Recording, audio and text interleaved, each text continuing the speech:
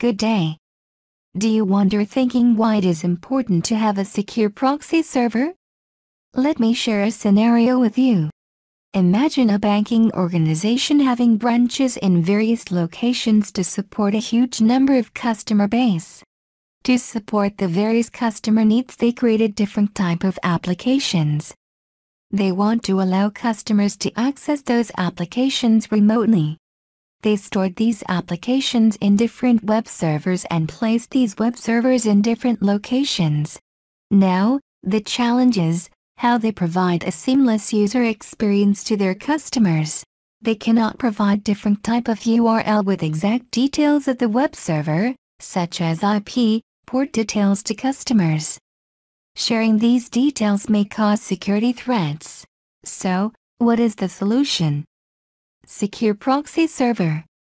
This will ensure that the access is secure and customer gets a seamless user experience. So how it works? Consider a user accessing the bank website. She wants to view her transaction details. The access request gets directed to Secure Proxy Server. It then requests the resource from the destination web servers and provides them to users. It acts like a reverse proxy and can be used to host a CA SiteMinder Federation and REST API components. It also provides security, SSL acceleration and load balancing. Now, the demo will show you how to install and configure a secure proxy server in CA SiteMinder. Browse to the location where Secure Proxy Server installer is stored. Double-click the installer to initiate the installation process. Wait until the installer initializes the installation wizard.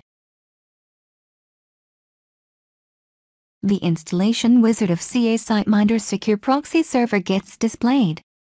Click Next. The license agreement page gets displayed. Scroll down and read the license agreement. The option I accept the terms of the license agreement gets enabled. Select it. Then, click Next. Accept the default location and click Next. Select the required JDK version and click Next.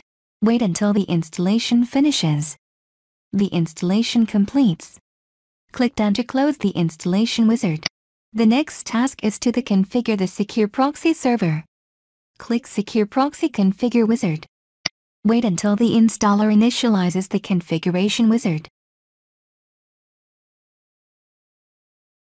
Now, select the version of the policy server with which you want to configure Secure Proxy Server. In this scenario, 12.5xx version is selected. Then, click Next. The host registration page gets displayed.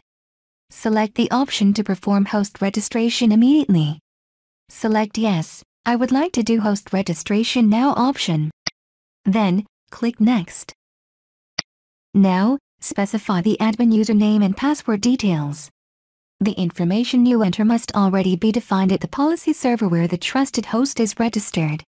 After that click Next.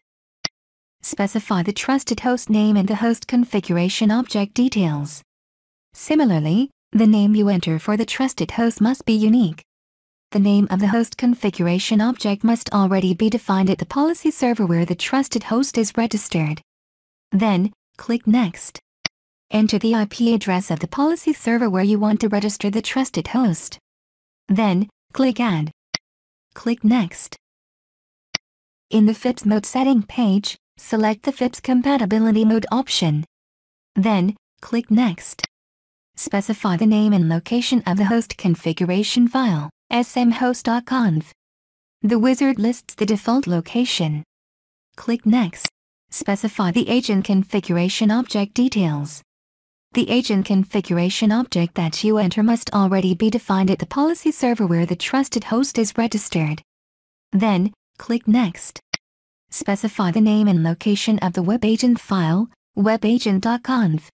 The wizard lists the default location. Click Next. Specify the server name, admin email address, HTTP port and SSL port details. Then, click Next. Now, enter the Tomcat server information. Specify the HTTP port and SSL port details. After that click Next.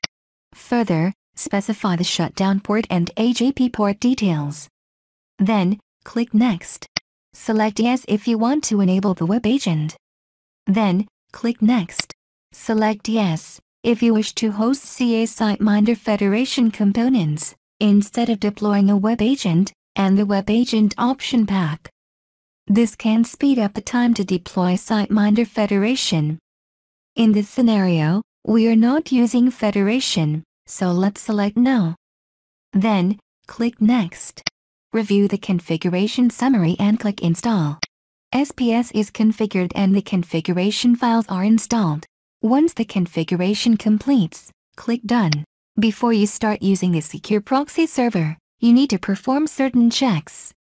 Click Start, All Programs, Administrative Tools, Services. Ensure SiteMinder Proxy Engine and SiteMinder Secure Proxy services are started. Then, you need to verify a few parameters of the domain that you wish to protect. So, browse to the CA SiteMinder Policy Server Administration page. Enter the login credentials and click Login. Click the Policies tab. Click the domain link. Click Domains. Search the domain you wish to protect. Click Modify. The domain details get displayed. Click the Realms tab. Click the edit icon of the realm, which you wish to protect. Specify the resource filter as slash proxy UI. Then, to modify the rules, click the edit icon. Specify the resource as a star. Add get and post action in the action list. Click OK. Again click OK to save the changes. Then, click Submit.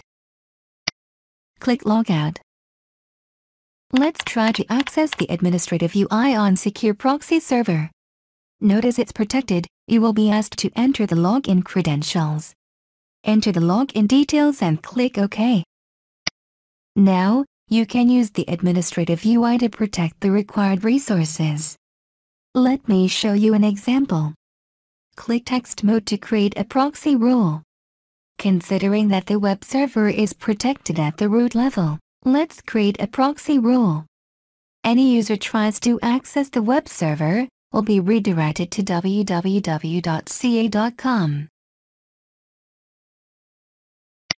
After editing, click Save.